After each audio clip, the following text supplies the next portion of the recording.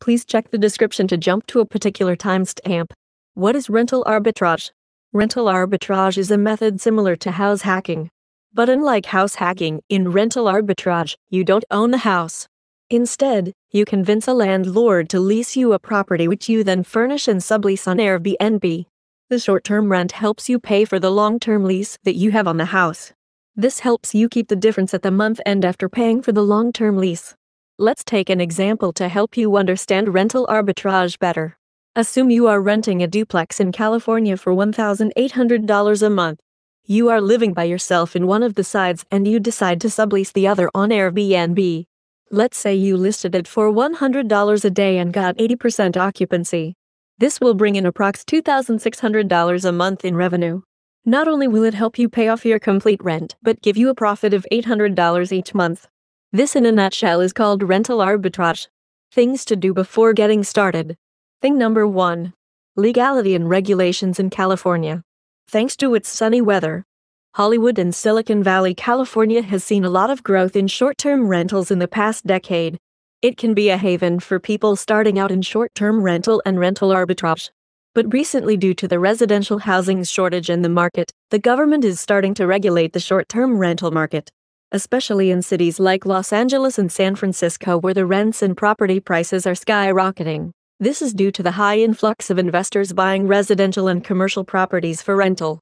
People are allowed to start their short term rental business very easily in most parts of California, but in some parts, it can be quite challenging.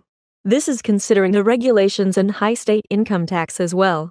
For example, Los Angeles has passed a law for its residents to obtain a permit from the city planning department for $89 if they want to do short term rental. Residents also have to include the registration number in the listing as well when putting it on Airbnb. Also, residents can only rent out the property in which they have been residing for at least six months of a year. There are many categories of these permits.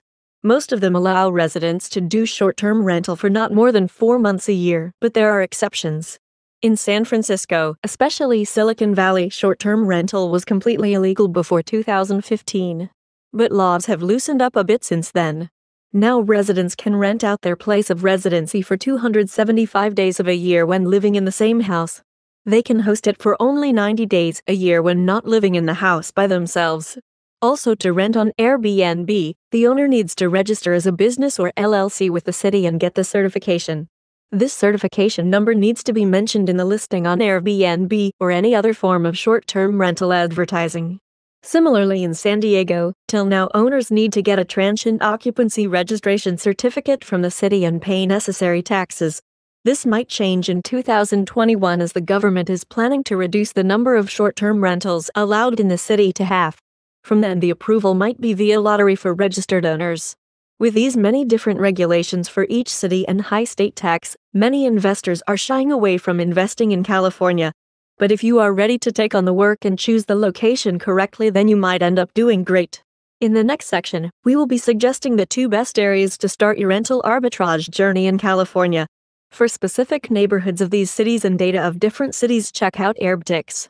Thing number two convince the landlord.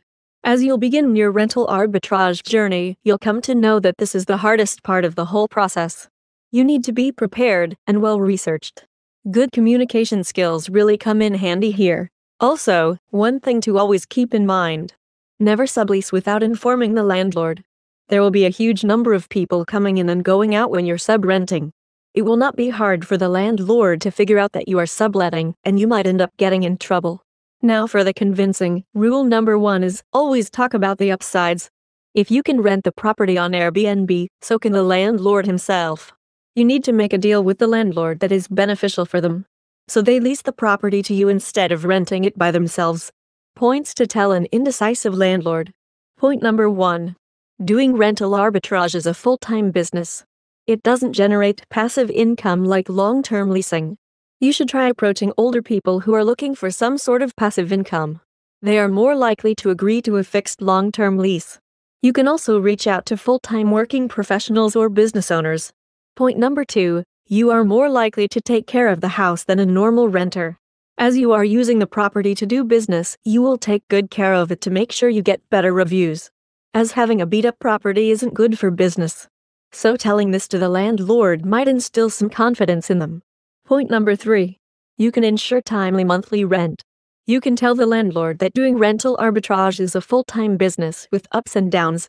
It doesn't guarantee fixed income at all like long-term leasing. But if they lease it to you, you'll make sure to pay the lease no matter what, either from the money made after rental arbitrage or from your savings. You need to ensure timely monthly lease payments to gain the trust of a landlord. Thing number 3. The initial cost of starting rental arbitrage in California? You can expect to spend anywhere between $3,000 to $10,000. This cost consists of everything including deposit, furnishing, amenities, legal paperwork, and LLC incorporation. But doesn't this contradict the low upfront cost of rental arbitrage? Well, these estimates vary from city to city. It is possible to do rental arbitrage for even less than this depending upon your situation and the type of property you lease. Still, the amount is much less than investing in a new property and getting a mortgage of thousands of dollars. But this doesn't mean rental arbitrage can be done with no or very tight budget. There will be some upfront costs that you would have to bear. Having some extra cash is a good thing to have.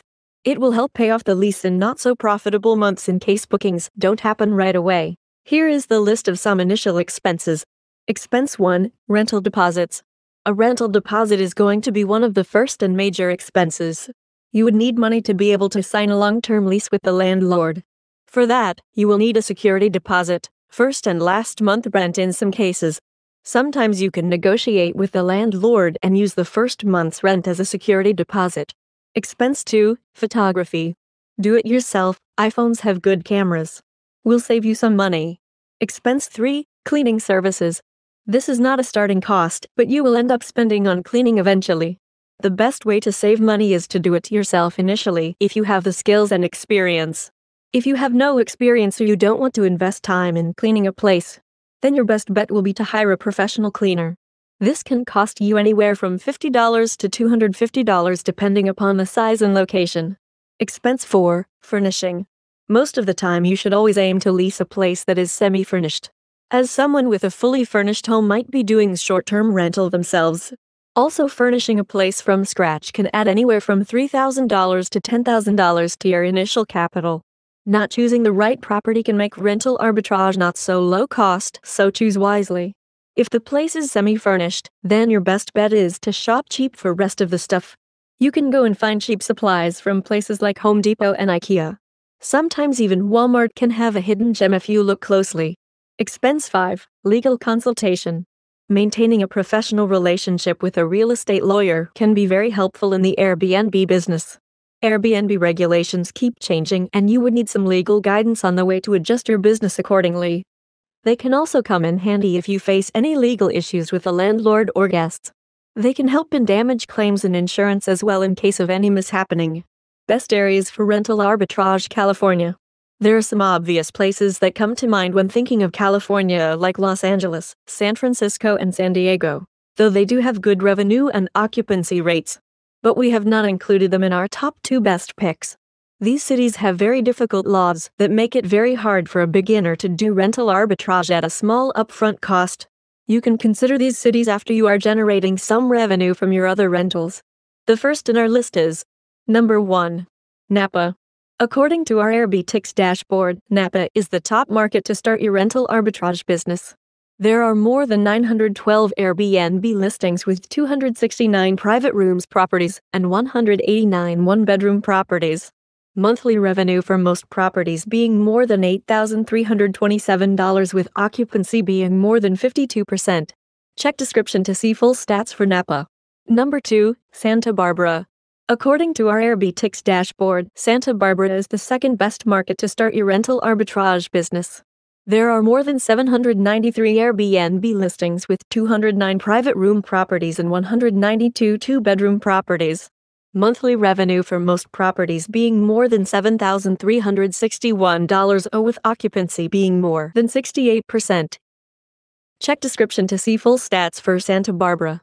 To find stats for your city, click on the link in the description. Thank you.